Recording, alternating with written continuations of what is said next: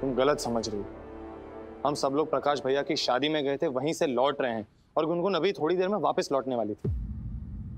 Drop करने आई थी या आपके साथ होटल में रात बिताने आई थी?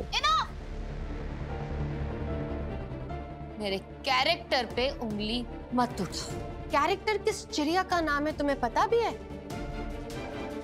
तुम्हारे ऐसे सती सावित्री वाली ढोंग करने से ना ये सच बदल नहीं जाएगा कि तुम एक्चुअली किसी और के पति के साथ सुहाग रात मनाने वाली बेशरम लड़की हो।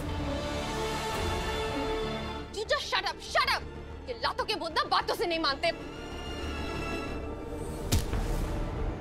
गुनगुन!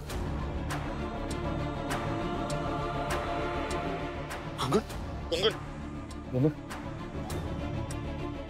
How dare you? अनुभव